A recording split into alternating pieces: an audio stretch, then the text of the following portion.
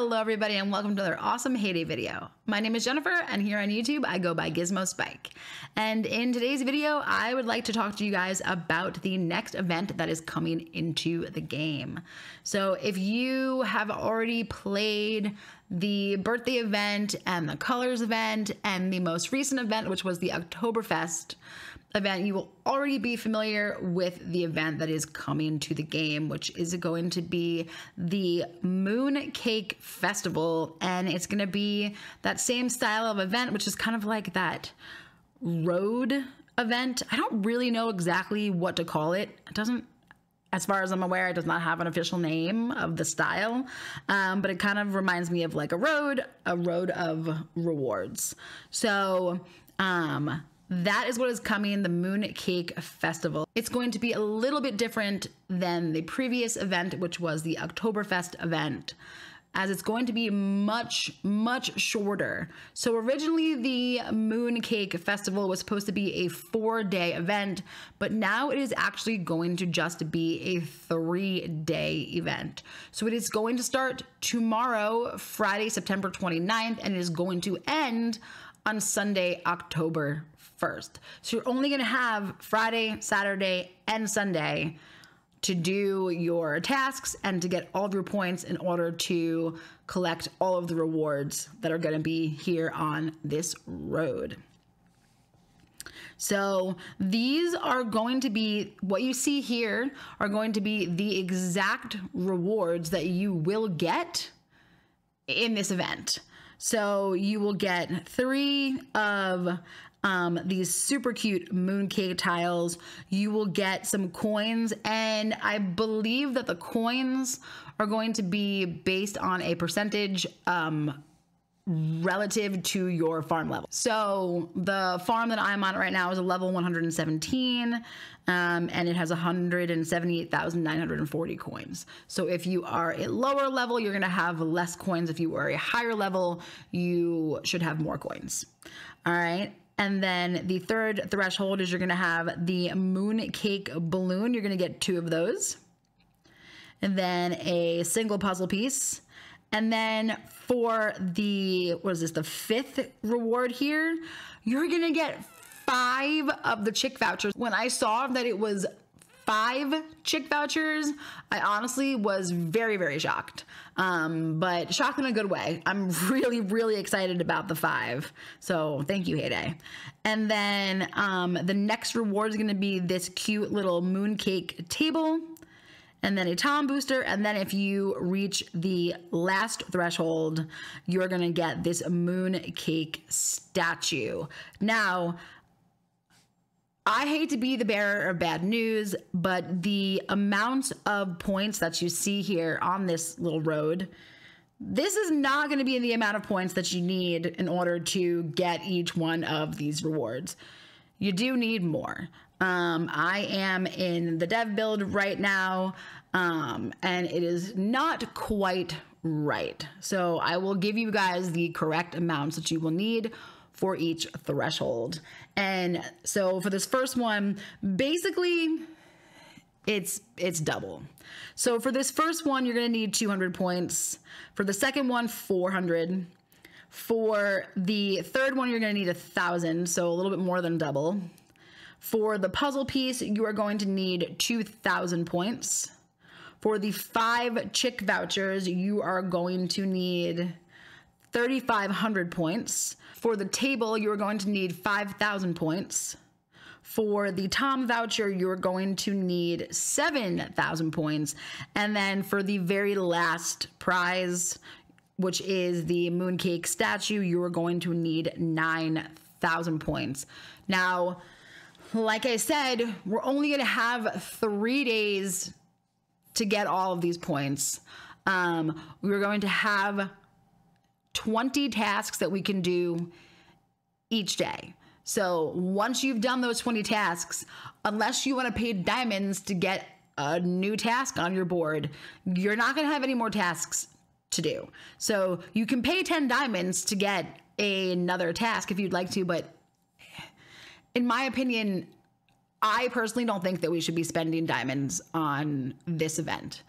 If you plan accordingly, there should be no reason. So basically, you're going to have 60 tasks that you need to do over the course of three days in order to get 9,000 points. Now, I'm not saying that this is going to be easy, but I do believe that it is achievable. You need 3,000 points every single day. Well, an average at least. Um, and that means in order to get those, that each task of your 20 tasks needs to average 150 points. Now, not every single one of your tasks is going to be 150 points. So you can see the board that it has presented to me right now in the game. These all happen to be higher point tasks. But there's still one here, which is the adult cat or feed the adult cat, and that's only 100 points. So, but you have ones that are higher. That's 180, that's 160, 170, 170. So hopefully, over the course of the 20 tasks that you get, they're going to balance out and you will hopefully get 3,000 points per day. You might be a little bit shy of 3,000 points, maybe the first day, but then get, you know, 3,500 on the second day. So it should hopefully all balance out. Um, but you are only going to have the three days and the 60 tasks, 20 tasks per day in order to get all of the points that you need to get everything here on your reward road. I'm just going to call it the reward road because I don't know what else to call it. Now, I know that a lot of you guys gave up on the Oktoberfest event, and I'm sure that there are some of you guys watching this video right now that are probably going to be like, you know, I'm not even going to try for on this event because it's too hard and you know, I can't use my machines the way that I want to and I do agree with you. Um I like these events, but I do believe that they've made them just a little bit too hard to the point where our gameplay is being controlled by the event. That being said, all you need to do is a little bit of planning, and I'm going to share with you the strategy on how to make sure that you can get all of your tasks done and collect your points, and hopefully have enough points to finish the road. Now, obviously, some of it's going to be luck. If you have a day, this is a decent board because every single one of the um, things on here are in, made in a different machine. The feeding the cat is very easy. Everyone should have a cat. The blackberry jam, that's kind of unfortunate, but if you can get that into your machines early in the morning, then you do have enough time to complete that task. And don't forget to like don't be afraid to use that like watch an ad feature to cut the time of a jam in half um, that can help you with producing. That being said, the strategy that you're going to want to take with this event is you're going to want to go and see what your tasks are as soon as possible, as close to the start of the day for the event as possible. Now, I am aware that for some people, that is very, very early in the morning. Um, here on the East Coast of the United States of America, where I am at, um, the events start at 4 a.m. I don't really want to wake up at 4 a.m. to see what I got and throw things into machines. Have I done that before? Yes. Will I do that? Maybe. Don't judge me. But you don't necessarily have to get up before the morning. I would just say when you get up, eight o'clock, nine o'clock, just check as soon as possible, see what you got. And for other countries, it's not even that early. Like the event starts in the United Kingdom, it starts at eight, and in mainland Europe, it starts at nine. So um, it's, it's a lot better in some other countries. But basically, what you're going to want to do is jump on, check and see what all of your tasks are. Now, obviously, you're only going to be able to see six of them.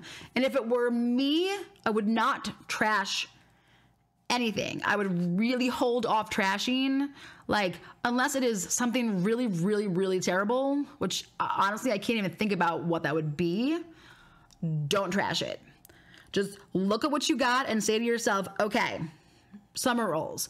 Go over to the machine. Don't take the task yet. That is key. Don't take the task yet. Go over to the machine throw in three summer rolls. Go over to your um, jam maker, throw in three blackberry jam. Go to your cake maker, throw in three strawberry cakes, etc. Go feed your cat because you should be able to do that instantaneously. Um, and then a new task will be propagated on the board for you. Whatever that is, go put that in your machine. Then either walk away from the game or, you know, play other things on the game. Once you have made all three of your summer rolls, that's when you're going to take the task, go over to your machine, and then instantly collect the three summer rolls. And then you're basically just to go from there. Whatever comes up next, you're to look at that, you're to assess what you got, and you're to go and you're to add that to your machines. Most of the tasks are going to be production tasks, meaning that you're going to have to make something in your machines. Yes, they're going to be feed tasks. They're going to be like feed pets. They're going to be um, for feeding your sanctuary animals as well. Um, so if it was me, I would keep your pets unfed or asleep um, I would do the exact same thing with your sanctuary animals as well. Um, if you have Rose and Ernest hired, they do count. So I have no Rose or Ernest like thing on my board right now, but let's say that I had to collect or make seven brown sugars. I could go and throw seven brown sugar into my sugar mills and then if I have Ernest hired, I would actually then take that task and you could like walk away from the game because as those sugars are made, Ernest will collect them for you and they will count towards that task.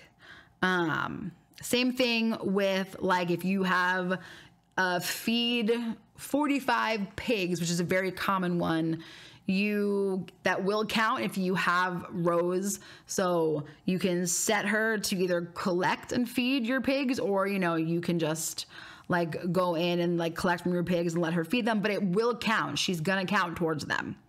Um, and speaking of feed tasks like that, specifically, I'm thinking of the pig one because I know that a lot of us, including myself, got that feed 45 pigs task during the Oktoberfest event. And if you do get that feed task, that is going to be the thing you want to do first. So you want to get that out of the way immediately because that is going to take you the longest amount of time and you can't stack that. Like you can't, you know, you can collect 15 at a time, but you can't stack all 45 and like feed all 45 at one time. So you will have to do that one first. Obviously, it's possible that you could get like that feed task that pops up somewhere like in the middle of the day. But basically, like if that pops up, whenever that pops up, you definitely want to be able to take that immediately and get those pigs or cows, etc., fed. With a little bit of a planning and stacking, you should not have any problem um, being able to complete most, if not all, of the tasks here um, on your Mooncake Festival rewards road. I personally like these events. I do wish that they would go back to being the way they were originally, where we had um like more days to complete it or more tasks per day, but um yeah, I still like the style. I still like the style. I like that we're getting some really good uh, rewards in here. The deco is awesome, but and the puzzle pieces are great, but those chick vouchers, they are fantastic. So I'm very, very happy that Hay Day has been giving us more ways to get those chick vouchers. And I do still think the event is fun. I just think it needs a little bit of tweaking to make it be the best that it can be. So let me know what you guys think about um, these events that they've been giving us. Let me know if you like them, if you really don't like them, if you are okay with the changes that were made, or if you really want them to bring it back the way that it was originally. Thanks so much for watching, everybody. I hope that this event brings you nice and easy tasks. And remember, if you are not already subscribed to my channel, that is free to subscribe to a channel on YouTube. It will make me very, very happy. So go ahead and hit that beautiful red subscribe button and tick the bell so you know when I go live when I post new videos. Happy farming. Wheating is life. Peace.